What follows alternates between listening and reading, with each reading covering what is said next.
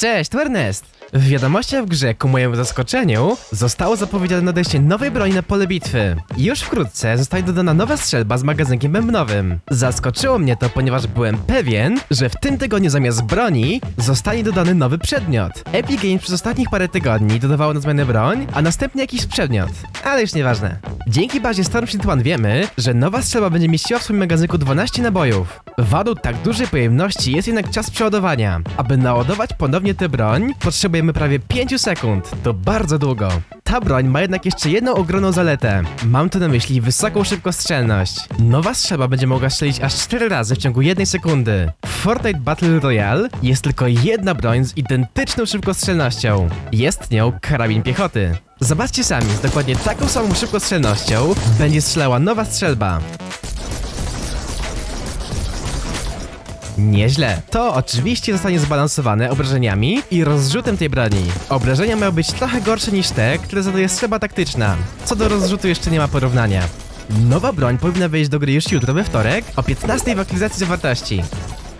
Poza tym wczoraj około 10 w plikach Fortnite został odszyfrowany obiekt, który ma być pierwszą częścią robota. Zanim przejdziemy dalej, to jeśli ktoś jeszcze nie widział mojego filmiku na temat potwierdzonej fabryki robotów Fortnite, to serdecznie zapraszam do obejrzenia go. Tam wyjaśniłem wszystko, co na ten moment wiemy o nadchodzącym wydarzeniu. Wracając, to wydobywcom danych, w tym Lukasowi Twittera, udało się podejrzeć taki oto obiekt. Z nazwy tego pliku wiemy, że to jest lewa stopa ogromnego robota, który będzie budowany w fabryce robotów. Czyli tutaj. Ten obiekt jest naprawdę wielki. Dla porównania, Lukas dodał zdjęcie tej części robota z królisią. Zobaczcie sami, to będzie dosłownie największy event Fortnite.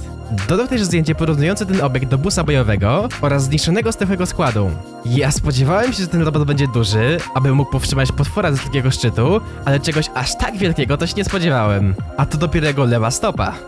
Przy okazji, to zdaje się wyjaśniać, dlaczego w plikach gry tego wydarzenia są plakaty propagandowe z różnymi hasłami. Damy radę to zbudować, bezpośrednio może nawiązywać do procesu budowy tego robota. A hasło Kiedy nadejdzie zagrożenie, przejmij high grounda, ostrzega nas przed nadejściem wielkiego potwora na wyspę.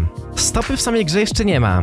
Wielkie pomieszczenie jest dalej puste, ale już wkrótce powinna pojawić się tutaj pierwsza część robota i tak jak przypuszczaliśmy, robot będzie składany krok po kroku w fabryce robotów. Zanim zostanie postawiona pierwsza część, to najpierw zostanie opuszczona platforma, która jest widoczna w zwykłych trybach. Ustaliliśmy już, że to jest tak naprawdę winda. To na niej będzie budowany robot, a gdy będzie już gotowy, ponownie się ona wzniesie, aby robot mógł z łatwością się wydostać. Niektórzy z was słusznie zauważyli, że rzeczywiście to przypomina fabułę filmu Pacific Rim. Wyspa Battle Royale została zaatakowana przez potężnego potwora.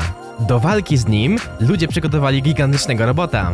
Na koniec w tym temacie mała ciekawostka. Potwór w plikach gry ma nazwę kodową Cactus, czyli kot, a robot Dogus, czyli oczywiście pies. Pamiętajcie, że to są tylko nazwy kodowe w plikach gry, a nie oficjalne nazwy.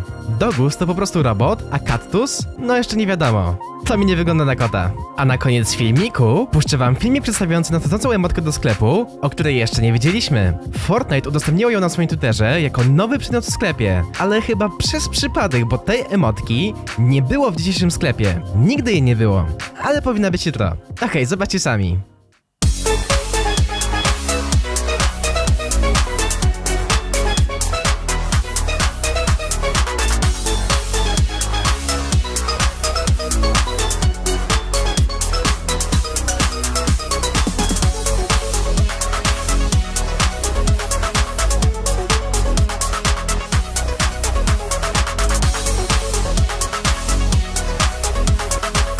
I to tyle. Ja już dziękuję za oglądanie i do zobaczenia w wysie bojowym.